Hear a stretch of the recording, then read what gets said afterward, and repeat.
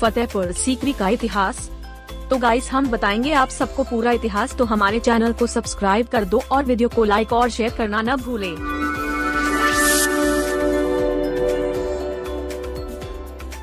फतेहपुर सीकरी उत्तर प्रदेश के आगरा ज़िले में एक शहर है। यह आगरा से 40 किलोमीटर दूर पश्चिम दिशा में स्थित है। सम्राट अकबर ने पंद्रह में मुगल साम्राज्य की राजधानी के रूप में इस शहर की स्थापना की थी। यह एक से एक हज़ार पाँच सौ पचासी तक अकबर की राजधानी रही, लेकिन पंजाब में अभियान के कारण अकबर ने इसे 1610 में पूरी तरह छोड़ दिया फतेहपुर सीकरी में कई प्राचीन धरोहर और अकबर के द्वारा बनवाए गए कई किले हैं जो आज भी उसी अवस्था में मौजूद हैं।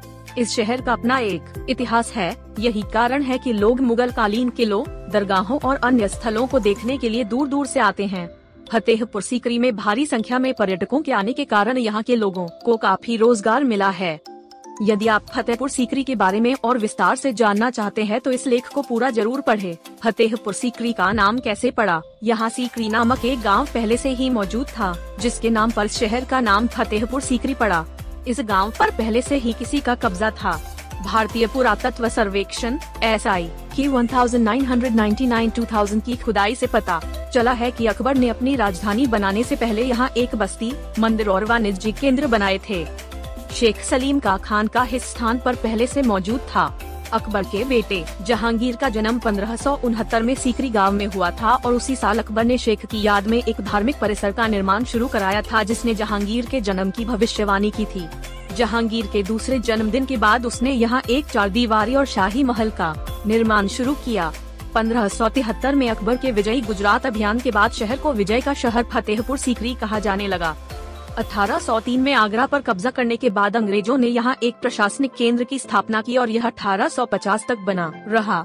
1815 में मैक्सेस ऑफ़ हेस्टिंग्स ने सीकरी में स्मारकों की मरम्मत का आदेश दिया था। फतेहपुर सीकरी का इतिहास। माना जाता है कि सोलहवीं शताब्दी में जब बाबर ने राणा सांगा को एक युद्ध में हराया था, उसी दौरान उसने सीकरी नामक गाँव को पहली बार देखा था। इस जगह से बाबर को बहुत प्यार था। बाबर ने इस गाँव को शुक्री शुक्रिया की उपाधि दी और इसके प्रति आभार प्रकट किया था। एनेट बेवरेज ने बाबरनामा के अपने अनुवाद में लिखा है कि बाबर सीकरी को शुक्री पढ़ने के लिए कहता था। बाबर ने सीकरी के बाहरी इलाके में गार्डन ऑफ़ विक्टोरी नामक एक बाग का निर्माण कराया था। बगीचे में उसने एक अष्टकोणीय मंडप बनवाया था जिसमें वह विश्राम और लेखन का कार्य करता था। पास की झील के केंद्र में उसने एक बड़ा मंच बनाया। हिरन मीनार से लगभग एक किलोमीटर दूर एक चट्टान के स्कोप के आधार पर एक बाउली मौजूद है। इसके बाद अकबर ने फतेहपुर सीकरी को अपनी राजधानी बनाने के बाद कई स्मारकों का निर्माण कराया था। अकबर ने फतेहपुर सीकरी क्यों छोड़ा? अकबर ने 1610 में फतेहपुर सीकरी को पूरी तरह से छोड़ दिया गया था। माना जाता है कि अकबर द्वारा यह शहर छोड़ने का मुख्य कारण पानी की आपूर्ति की विफलता थी। वहीं कुछ इतिहासकारों का मानना है कि इस शहर के प्रति अकबर की रुचि कम हो गई थी, क्योंकि उसने अपनी सनक के कारण ही इस शहर का निर्माण कराया था। उसने फतेहपुर को अपनी राजधानी बनाई थी और लाल रंग के बलुआ पत्थरों से इसका निर्माण करवाया था। फतेहपुर सीकरी में घूमने की जगह अकबर कला का बहुत शौकीन था। उसने फतेहपुर सीकरी को राजधानी बनाने के बाद यहाँ अपने तरीके से इमारतों का निर्माण कराया। यहाँ के सभी स्मारक और मस्जिद स्थापत्य शैली में निर्मित हैं। आइए जानते हैं कि फतेहपुर सीकरी में घूमने लायक कौन कौन सी जगहें हैं। अनूप तालाब फतेहपुर सीकरी में घूमने की जगह। यह तालाब बेहद खूबसूरत है और इसके बीचों बीच एक प्लेटफॉर्म बना हुआ है, जिसका इस्तेमाल गायन प्रतियोगिताओं के लिए किया जाता था। फतेहपुर सीकरी में घूमने की जगह पंचमहल। पंचमहल एक पाँच मंजिला महल नुमा संरचना है, जिसमें हर मंजिला धीरे धीरे आकार में घटता जाता है। अंतिम यानी सबसे ऊपर की मंजिल एक बड़ी गुंबद जैसी छतरी की तरह है। माना जाता है। कि यह महिलाओं के लिए बनाया गया था। फर्श को प्रत्येक स्तर पर जटिल नक्काशीदार स्तंभों पर यह खड़ा है। इसमें कुल एक सौ छिहत्तर स्तंभ है। दीवान खास फतेहपुर सीकरी। यह वह स्थान है जहाँ अकबर ने विभिन्न धर्मों के प्रतिनिधियों से उनके विश्वासों और धर्मों पर चर्चा करता था।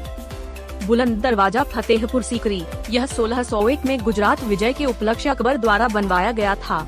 बुलंद दरवाज़ा के केंद्रीय भाग में लगा एक शिलालेख अकबर के धार्मिक खुलेपन का वर्णन करता है।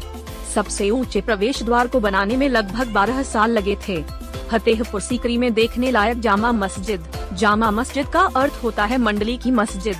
यह संभवतः परिसर में बनने वाली पहली इमारतों में से एक थी। फतेहपुर सीकरी में घूमने की जगह सलीम चिश्ती का मकबरा। यह मकबरा सफ़ेद संगमरमर से बनाया गया है जो सलीम चिश्ती को समर्पित है। यह जामा मस्जिद के साहन साहन आँगन के भीतर है। एक केंद्रीय चौकोर कक्ष के चारों ओर एकल मंजिला का निर्माण किया गया है, जिसके भीतर संत की कब्र है फतेहपुर, सीकरी कैसे जाएँ? चूँकि यह शहर आगरा से बिल्कुल नज़दीक है, इसलिए आगरा जाने वाले पर्यटक फतेहपुर, सीकरी जाना नहीं भूलते हैं इस शहर में यातायात के हर मौजूद है आइए जानते हैं, फतेहपुर, सीकरी कैसे जाएँ। हवाई जहाज़ से फतेहपुर, सीकरी कैसे पहुँचे आगरा में खेरिया हवाई अड्डा फतेहपुर सीकरी तक पहुँचने के लिए निकटतम हवाई अड्डा है। यह फतेहपुर सीकरी से लगभग 40 किलोमीटर दूर है और दुनिया भर के अधिकांश शहरों से हवाई मार्ग द्वारा अच्छी तरह से जुड़ा हुआ है। ज़्यादातर प्रमुख एयरलाइंस जैसे IndiGo airlines, Air India, Jet Airways, SpiceJet, Indian Airlines, Go Air Air India Express और एयर एशिया की आगरा के लिए नियमित उड़ाने हैं। हवाई अड्डे के बाहर से टैक्सी लेकर आप मामूली शुल्क पर फतेहपुर सीकरी पहुँच सकते हैं बस द्वारा फतेहपुर सीकरी कैसे पहुँचे? फतेहपुर सीकरी आगरा से 37 किलोमीटर और दिल्ली से 210 किलोमीटर दूर है यहाँ के लिए नोएडा और अन्य राज्यों जैसे उत्तर प्रदेश राज्य सड़क परिवहन निगम यूपीएसआरटीसी द्वारा संचालित नियमित बसें चलती हैं।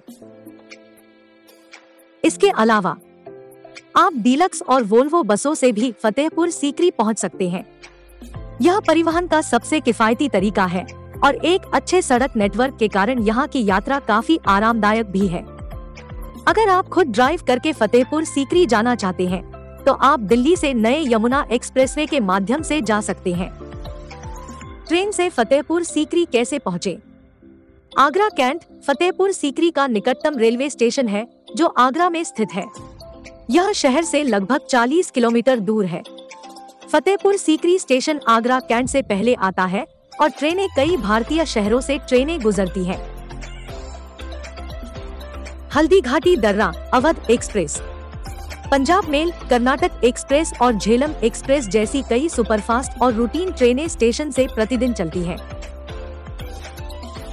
आप स्टेशन के बाहर से बस और निजी टैक्सी लेकर शहर पहुँच सकते हैं फतेहपुर सीकरी में कहाँ रुके हम सभी जानते हैं कि फतेहपुर सीकरी ऐतिहासिक कारणों से बहुत प्रसिद्ध है। यहाँ वर्षा भर पर्यटक आते हैं, इसलिए यहाँ पर्यटकों के रुकने के लिए बेहतर सुविधाएँ उपलब्ध है।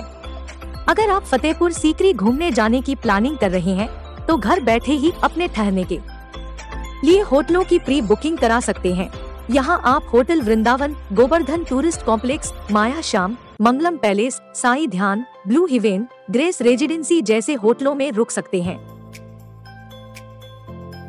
आपकी जानकारी के लिए बता दें कि प्रत्येक होटल में ठहरने का शुल्क अलग अलग है।